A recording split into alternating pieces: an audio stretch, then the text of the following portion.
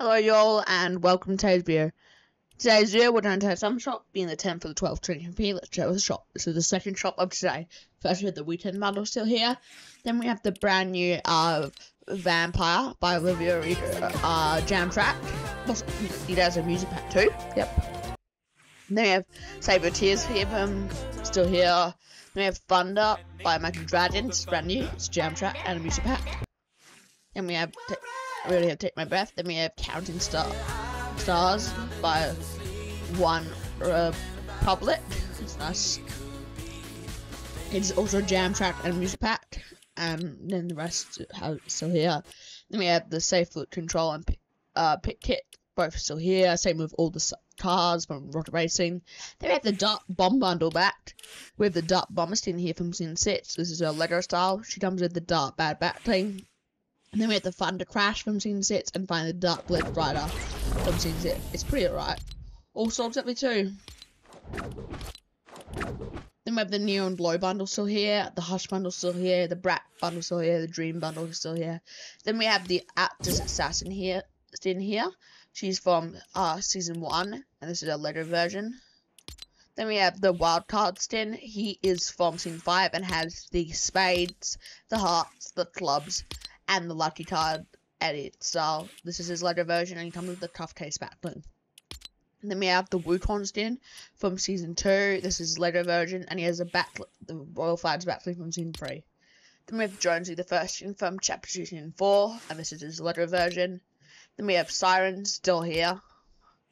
Then we have Tis the Season with some new stuff with Crackabella here.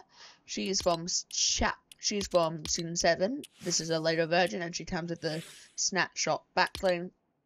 Then we have Grimbles here with uh, the red eyes edit style. He's from season 7. This is the later version and he comes with the Loomis lamp backbling. It's reactive. Then we have the Sugar Plum Stin.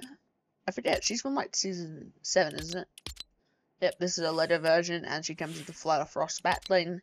Then we had the Frosty Fury skin from Treasure 1. This is a later version. Then we had the Snow uh, Lobe Pidats from Season 7.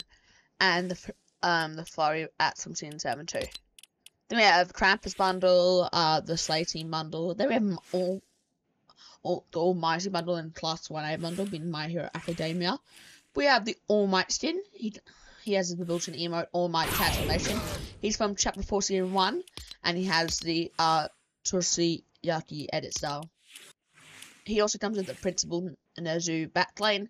Then we have the All Smite Pidats from Traversing 1, and then we have the Simpler Piece emote from Traversing 1.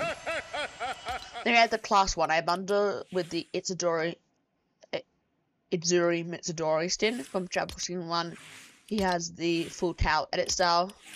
He has the Itzuri, Itzuri uh, built Nemo and comes with the All Might collectible bat backplane. Then we have the Kazuri Bakugan skin. He has uh, he has the hero style and comes with uh, the grenade backpack. Then we have the Ocha Uranka skin.